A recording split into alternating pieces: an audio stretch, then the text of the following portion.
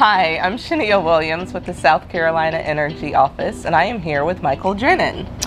I am the Director of Development for the Montessori School of Columbia.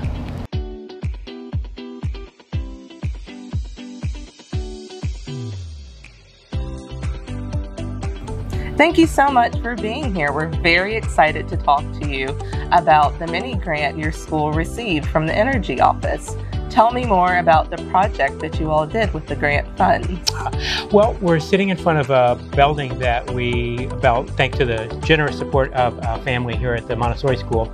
And it was important that we practice our, put into practice what our teaching is with our students. Um, and so we wanted to make this a net zero energy building. And so we did all the things you're supposed to do to make it a tight building, to do the installation, uh, but that's not far enough to get it to a net energy, net zero energy uh, program. So we uh, wanted to install some solar panels on the roof of the building that the building itself would generate all the energy that it would need for the year. And um, getting the mini grant from the uh, office was critical in helping bring that to fruition. Oh, that's great. Tell me more about the Net Zero building and how it has affected your operations and just the, the building's functioning overall. Right. So I think the main purpose for us, the main motivation to do a net zero energy building was to be a responsible member of our community. And we're teaching the future leaders of tomorrow. And we want them to have direct, tangible experience with a net zero energy building so they know what's possible and hopefully where we're heading as a society going forward. So the idea behind the net zero energy building is that it is well insulated, well designed, has lots of natural light in it so that we're using less uh, electricity during the day, uh, and that the solar panels on the roof are generating all the power that you need to heat, cool, light the building for the entire year. So that was an important uh, goal for us. And of course, there's additional costs involved in building in that manner, but those costs are more than recouped through the energy savings that we realize in terms of the less heating and cooling and lighting that we need to do throughout the year. And every time we're a small independent school like this, that you can reduce your ongoing costs, like utility costs, just means that's more money that you can put into enriching the education of students at the school. Yes, exactly. So, have the students been involved very much in any of the energy projects? Have there been lessons that have circled around energy savings? Um, have they been involved in all, at all in any way? Yes, um, we want this building to be an edu- not only an educational building in the sense that education occurs inside of it, but an educational building in the sense that students are learning from the functioning of the building. So we have, for example, the capability to go online to our Enphase portal and see exactly how much energy the panels are generating uh, on a daily basis. Uh, so that enables our students to do projects like what is the difference in the energy generation from season to season? How does the energy generation of a solar panel change based on the temperature outside or the cloudiness uh, level? And how is that comparing to the energy that we're using in this particular building for heating and cooling? Like how much of our energy goes to cool or heat the building? How much of it goes to lighting? So it can give uh, students a kind of a very applied way of learning about energy efficiency, individual responsibility, potential programs and uh, projects that can be done in the future.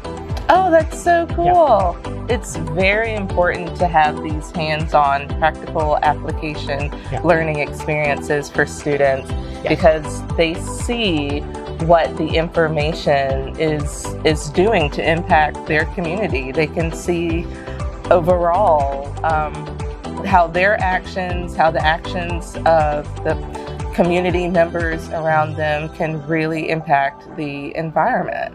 Uh, yeah, absolutely. And part of the Montessori education is it's very hands-on, very tactile, particularly for the younger ages. Uh, we believe that students learn by doing and by interacting um, with uh, not only materials in the classroom, but the buildings in which they're at and the community at large. So this is very uh, fitting for our method of education. Yes, I can yeah. see that, definitely. So, how long did it take you to complete the building and all of the projects on it? Um, well, you know, once we were able to secure funding for the building, I think the building took about eight months to construct. Okay. Um, and then I think about uh, less than a year later, we added the solar panel sink to the grant from the Energy Office. Okay, great. Well, we're so happy that we could help make this happen.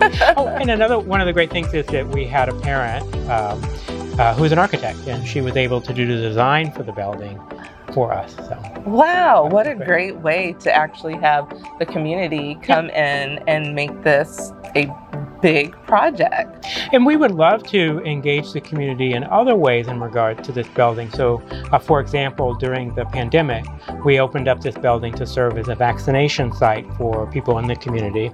And uh, I would love to, I know from time to time people do tours of solar buildings, net zero energy buildings, and we would love to be included in that so that not only is it benefiting our students, but it's benefiting and educating the wider community as well. Yes, that's yeah. also important. So, is the campus or the building ever open to the public? Uh, we can make special arrangements and accommodations to do tours. I'd love to do that at any time. We'll just work around the schedule of the of the students in the classroom. But yes, I would love for this to continue to be a source, a resource for the community. Oh, great! Yeah. Okay, so do you have any future energy projects for the school that you're planning? Well, our school is about to embark on a strategic planning process where we're going to be looking at things like that that we can do on campus. And I would love to be doing more uh, energy retrofits on our existing buildings. We have a number of buildings uh, around campus. I'd love to be installing more solar panels on campus. Uh, I would love to install uh, an electric car charging uh, infrastructure on campus. We have some of our teachers who drive electric cars, and I'd like to offer that to them. Uh, one thing that's mm, very pressing for us is that as our school has grown, we've outgrown uh, the capacity of our existing diesel school activity bus.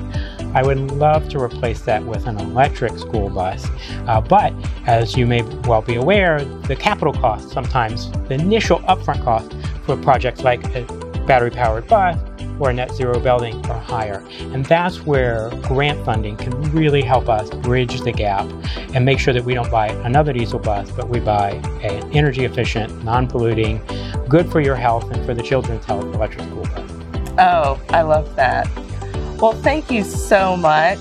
This has been a wonderful interview, and I look forward to seeing all the future projects your school has. Great. Thank you so much, Chenille. And I um, am so grateful for the Energy Office, all the work that you guys do, and for these mini grants which made this project possible for us. Yeah. Thank you. Thank you.